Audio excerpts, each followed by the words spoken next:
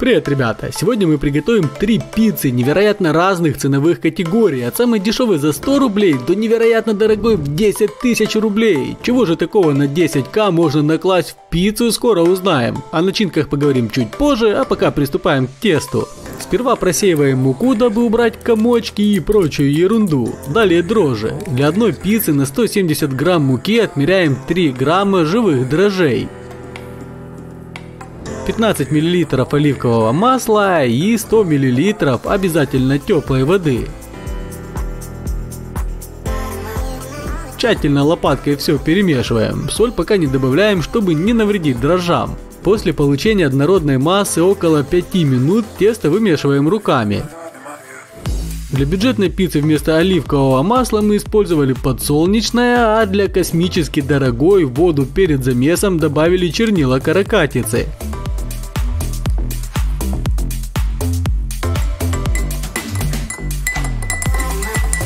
Так мы получим красивое черное тесто, которое, как из предыдущих замесов, убираем на 15 минут в теплое место. По истечении указанного времени добавляем в каждую из порций теста по 3 грамма морской соли и снова тщательно вымешиваем.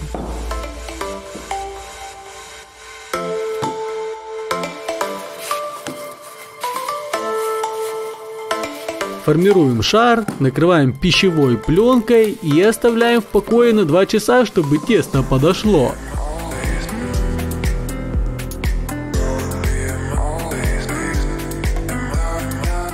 А сами тем временем займемся соусами. С дешевой пиццей все очень просто. Будем готовить классическую маргариту. Для нее у нас всего три ингредиента. Томатная паста, она же соус, самая бюджетная моцарелла и один помидорчик. Все продукты затянули почти на 29 гривен или 85 рублей. Максимально бюджетно, все как мы и хотели. Для пиццы за 1000 рублей будем готовить томатный соус. Ставим сковороду на маленький огонь, добавляем оливковое масло, плюс мелко нарезанный лук с чесноком и обжариваем 3 минуты. Тем временем в кипяток опускаем несколько помидоров на 15 секунд. Затем вынимаем, снимаем кожицу и отправляем в блендер на измельчение.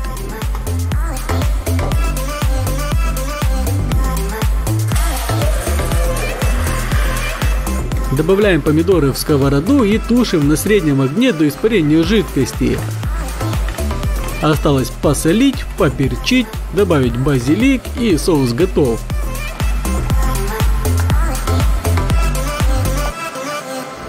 Для пиццы за 10к будем делать сливочный соус. Ставим сотейник на огонь и кладем в него топиться 100 грамм сливочного масла. Зубчик чеснока разрезаем на 4 части и отправляем туда же. Обжариваем до появления густого аромата. Спустя 3 минуты удаляем чеснок, но не выбрасываем, он нам еще понадобится. Всыпаем в масло 50 грамм муки и обжариваем, постоянно помешивая.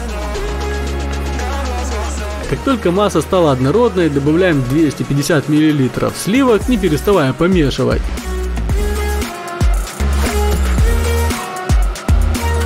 По вкусу кладем базилик, соль и все с соусами покончили.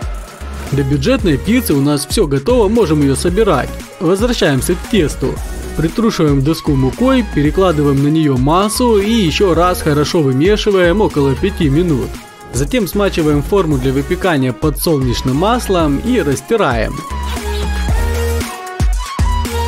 Переносим тесто и распределяем руками равномерным слоем по всей поверхности, формируя борта. А дальше вилкой проделываем в корже отверстие, чтобы во время приготовления пар проходил сквозь, а не поднимал пузырем наше тесто. Самое время для томатной пасты. Выкладываем первым слоем и обмазываем ею корж.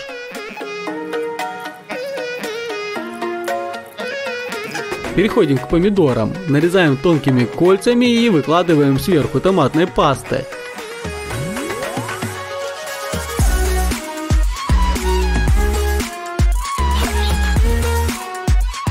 Последний ингредиент классической маргариты – сыр моцарелла. Наш кусочек не просто дешевый, а еще и весит всего 125 грамм. Ну а что вы хотели в пицце за 100 рублей? Мелко изрезаем сыр, высыпаем верхним слоем и отправляем в предварительно разогретую до 250 градусов печь на 15 минут.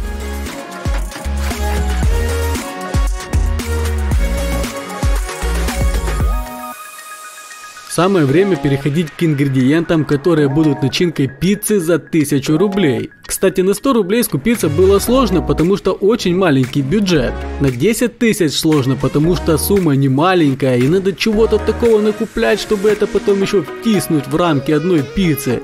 А вот на тысячу легче всего. Тут выбор огромный, разогнаться не успел, а лимит в 1000 рублей уже исчерпан. По чеку мы скупились на 442.50, но у нас на кассе произошла небольшая путаница и в этот чек случайно попал маскарпоне, он последний в списке. Если его вычеркнуть, получим сумму чуть более 352 гривен или 1040 рублей. На эти деньги мы купили испанский сыровяленый хамон, кабаноси и последняя мясная начинка бекон. Два сыра дорблю и моцарелла – а также помидоры, часть из которых ушла на соус. Тесто уже расположилось в форме. Выкладываем соус, обильно смазывая со всех сторон. Следующий слой заполняем испанским хамоном, кусочек к кусочку, чтобы не осталось просветов. Хамон у нас будет посередине между томатами, поэтому берем помидорчики, нарезаем тонкими кольцами 4 штуки, тут вообще кто как любит, и выкладываем на пиццу.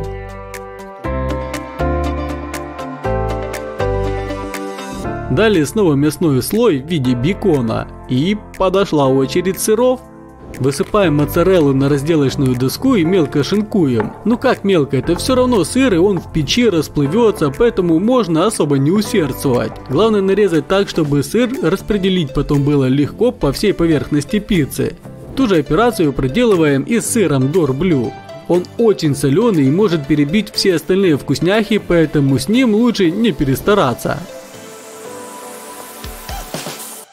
Остаются кабаноси. Разрезаем каждую по диагонали и выкладываем финишным слоем. Пицца готова отправляться в печь, но для начала давайте посмотрим на нашу бюджетную. Классическая маргарита выглядит очень аппетитно и не скажешь, что она всего за 100 рублей.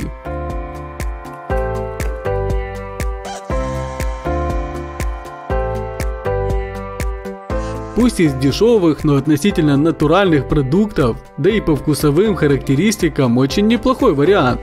Еще бы томатную пасту на соус заменить, вообще было бы круто, но лимит в 100 рублей внес свои коррективы.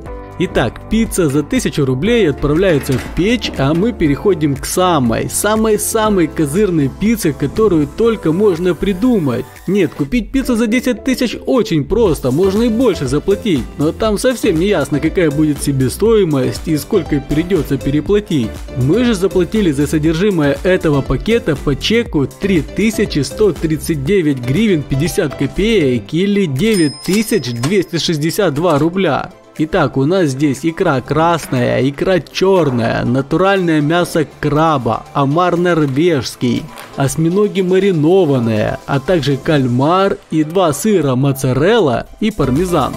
Здесь одна моцарелла, к слову, стоит почти как 5 дешевых пиц. А баночка черной икры дороже трех пиц за 1000 рублей. В этом же наборе помидоры черри и базилик. Если сливочный соус для пиццы уже готов, то морепродукты требуют кое-каких действий. Начнем с норвежского омара. Он очень красивый и мяса в нем очень много и в клешнях, но в данный момент нас интересует только хвост. Откручиваем его и аккуратно ножницами разрезаем хитиновый панцирь. Далее мясо извлекается на изи.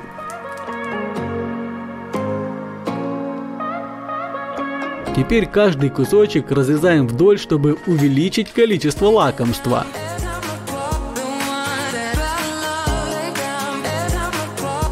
Сковороду на огонь, оливковое масло и помните кусочки чеснока, которые мы говорили не выбрасывать. Вот где они пригодились.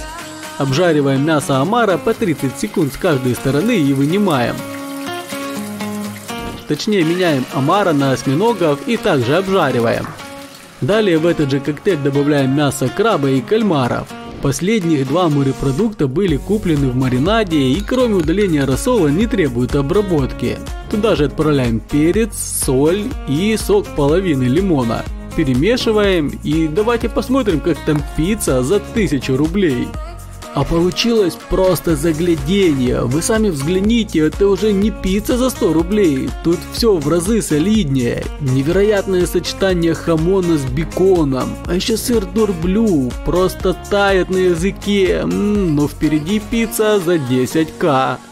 Возвращаемся к пицце с морепродуктами. Тесто распределяем тонким слоем по форме, не забываем делать отверстия в корже вилкой и наносим сливочный соус. А далее буквально на 7 минут отправляем корж соусом в духовку. Наша задача только запечь корж. Тем временем измельчаем моцареллу, которая очень сильно отличается от двух предыдущих собратьев и распечатываем пармезан. С ним дополнительных действий не требуется, он уже в виде слайсов. А вот помидоры черри дольками не продают, да и в силу их размера достаточно будет каждый разрезать пополам, не более.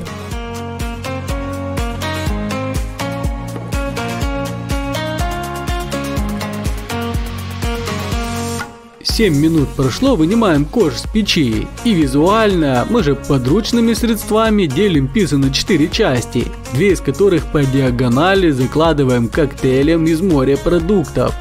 Далее обильно не жалея засыпаем все моцареллой. Ее здесь по весу на две части в два раза больше, чем ушло в предыдущие пиццы. Затем кладем помидоры черри. Кстати, столько начинки, что получилось подобие бантика. Немного не так, как планировалось изначально, но тоже очень красиво. Финишным слоем все так же по диагонали засыпаем не жалея пармезаном и помещаем на 5 минут в духовку. По сути все, что нам нужно это дождаться пока расплавится сыр. По истечению времени вынимаем из печи и осталась самая торжественная часть добавить икру. Думаю, все уже догадались, что ляжет она по свободным уголкам. Наносим жирным слоем все до последней икринки, сразу красную, а затем переходим к черной. Хотя по цвету она больше к зеленому. Накладываем побольше, побольше и пицца за 10 тысяч рублей готова.